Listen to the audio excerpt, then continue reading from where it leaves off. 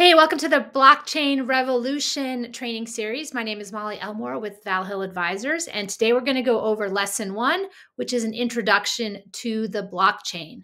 So, many of you have probably heard this term before, and it was often associated with kind of cryptocurrencies and speculative investing. However, there are tremendous applications for the business world using blockchain technology. We're going to break down today kind of an introduction into what this this means for all of us and some kind of basic high level understanding of how this could potentially affect you in the business and industry that you work in. Um, so let's go back first in time a little bit and talk about the evolution of the internet. Because I strongly believe that the blockchain is simply version three of internet technology, which, as we know, has completely transformed life as we know it, in addition to business as we know it. So, if we look briefly back at Internet version 1.0, this allowed us to quickly and easily exchange information. So, remember, basic websites that almost functioned like a brochure, and the very innovative technology of email. So, for the first time now, we could send messages electronically very quickly, very inexpensively, which absolutely changed not only the world of marketing, but how people communicate with each other. And that kind of hung around for a while until we got to version 2.0. And version 2.0 is more about connection, community, and uh, richer content. So, this is where we saw the evolution of social media. Uh, we have Facebook, Twitter, and a few others now, but there were some precursors that kind of brought along this idea of people being able to find others who have common interests and connecting with them via communities using the internet. Uh, we also saw with version 2.0 the rise of streaming content, primarily video, kind of richer, more in depth content than we could have in version 1.0, which was basically just text. Uh, we, as sort of society, had to wait for faster bandwidth for that to happen. But we now, currently in 2023, have pretty advanced abilities to communicate lots of information via rich rich video uh, and animations and sort of more advanced uh, ways to express content. And this led to this kind of combination of not only depth of communities and people being able to connect with others who are like them, but content creators uh, able, able to share information with their followers and their audiences in a very in depth manner. It also led to the introduction of content monetization. Um, the first version of the internet didn't really have much opportunity for advertisers uh, other than basic banner ads. But with version 2.0, the one that we are still in, we've seen a whole host of business models come out of uh, content creators being able to be compensated for how they share their information with their people. So those are sort of the first, just give you a little bit of history, the first two stages of the internet. There was, however, one big glaring problem that we've had until now, which is you can't send money through the internet. I can send an invoice to you and I could uh, communicate with you that I would like to either request money or send money to you, and we could make an agreement via you accepting the terms of those invoice and agreeing to pay it. However, we can't actually send money through the internet. Even services like PayPal that give the appearance of a transaction going through very quickly. If you've ever tried to sort of settle up the money from your bank to the recipient's bank, whoever you're sending money to via PayPal, it takes a couple of days for that money to actually be credited to the the other person's account. So that is to me the key concept to understand with the blockchain is that for the first time in the history of the internet, we will be able to use digital assets to send money and have that money be settled, meaning like actually given to the other person very, very quickly, in many cases, in a matter of seconds. And that is going to dramatically change how the world of business works. Um, different business models are going to arise. And there's some risk right now in the, the, current system, and that if I agree to pay you for something and it takes a couple of days, you sort of have to have this waiting period where we're trying to find out if it's actually going to go through or not. When we think about what exactly is the blockchain, there's sometimes some confusion.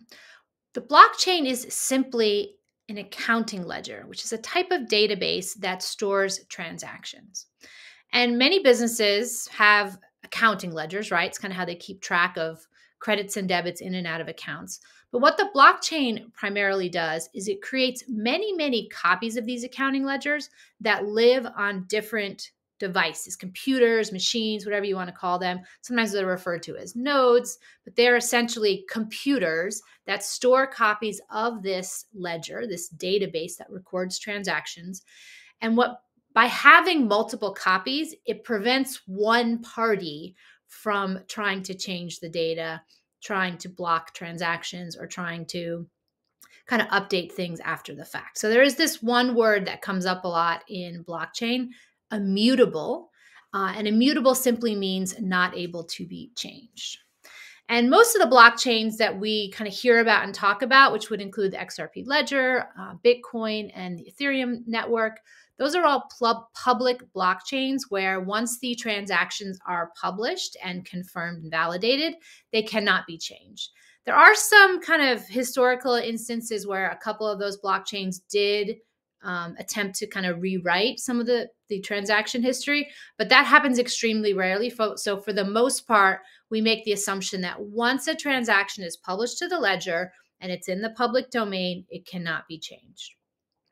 And the way uh, funds get sent, this is a little bit confusing too, is using this software application called a wallet. It's a little different than the physical wallet that you might carry around, where your money is literally in the wallet. In a digital wallet, the access to your money is in the wallet uh, because the the funds sort of live on the blockchain. I'm going to explain actually how that works in a second. But when the the access to those funds resides on this blockchain, you use your wallet as sort of your gateway, your your keys to access the funds on the wallet on the blockchain. Now, this is where it is also a little bit confusing let's say we're talking about a cryptocurrency, some type of currency that is used to exchange value to make payments. The money doesn't really live on the blockchain. What lives on the blockchain are the various property rights that you have as an owner of this currency. So if I own a currency, I have the right to send that currency to somebody else. I have the right to store that currency, save it for myself. I have the right to lend that currency. I have the right to use that currency as collateral. There's a variety of different property rights that I have as the owner of an asset, in this case, a currency. And what the blockchain does is it stores the transactions that my account, my wallet has regarding this currency. So if I'm sending some and receiving some, those are all transactions that relate to the various property rights associated with owning this currency. So this is some just a subtle nuance to understand. It's that the assets themselves, in some cases, they're physical assets. Like you could have, you know, gold be represented on a blockchain. There, there is no actual physical gold like on someone's computer somewhere. What are being represented on the blockchain are the various property rights and the transactions that relate to those property rights being kind of exchanged between two different parties. One of the key problems that the blockchain likes to solve regarding digital money is what we refer to as the double spend problem. So if I made a digital currency, and let's just say for argument's sake, I actually made images, like little, I had a like paper bills and I just made pictures of this money on my computer. One thing that would be easy for me to do is to send the same image to multiple people to buy things. So, this is why we can't just simply email money because how could you be sure that I haven't sent that same exact image to somebody else for payment? This is referred to as double spend. So, that is why the blockchain has some pretty sophisticated tech to ensure that a digital asset has kind of an ID number associated with it. And that ID number and that asset cannot be used kind of more than once for a transaction. Because once I spend it, I no longer have the property rights associated with that asset, so I can't spend it again somewhere else. Now, all of the uh, cryptocurrencies and digital assets that are being used today generally um, take into account this double spend problem, but it's something to understand in terms of one of the key initial problems that the blockchain uh, attempted to solve regarding digital money. Another key uh, evolutionary advantage here is this idea of smart contracts. Smart contracts are computer programs that reside kind of on the blockchain that execute what we call if then statements. And these are scenarios or conditions that have to be met for certain things to happen. So, for example, you could have a smart contract tied to some some funds that you have, and if certain conditions were met by a third party, the funds would be released to that person's wallet. Um, this is going to be key to some really advanced automations that are going to come for the supply chain, for the lending markets, for the world of, of finance. The applications for smart contracts are limitless, and we're very, very early. Just understand, please, that these smart contracts will allow some very, very sophisticated products to be run kind of in, by themselves. Like the derivatives market, for example, has a lot of agreements that are executed in the future if certain conditions are met. And using smart contracts, those uh, options agreements, those futures agreements in some cases could kind of run on their own uh, without having a human need to come in and sort of validate that, yep, this condition is met. We need to release the funds. And then the last concept I wanted to touch on with uh, sort of the blockchain idea is this word that comes up fairly often of decentralization. And what this essentially means is that there is not a single central party, typically a company, that is managing all of the transactions uh, for the blockchain.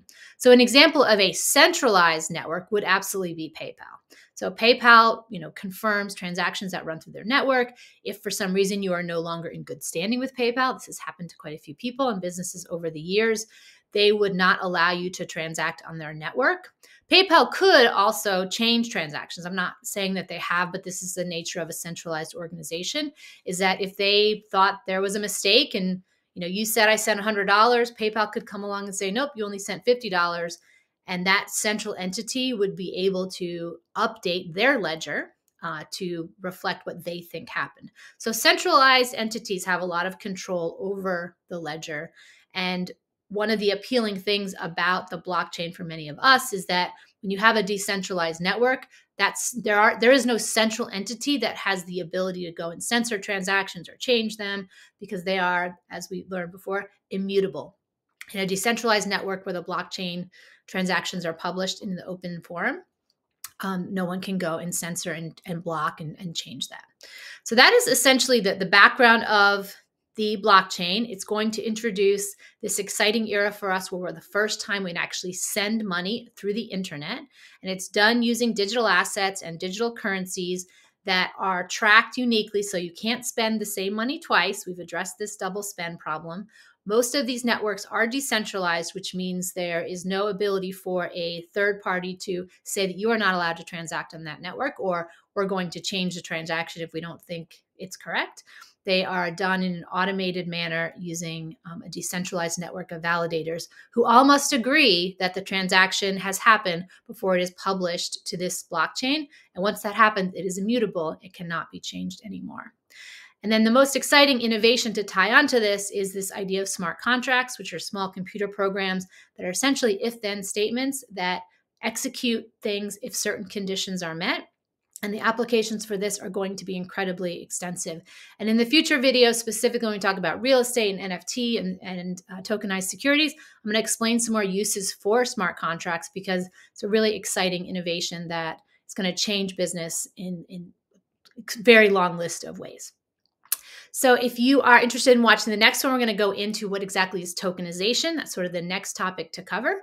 Um, the link in the video, the link in the description for that video is below. And if you'd like to download our free ebook, The Blockchain Revolution, we cover a lot of these concepts. And the link to fill that out is also in the description and it will send be sent to you automatically by email. All right, we'll see you in the next video.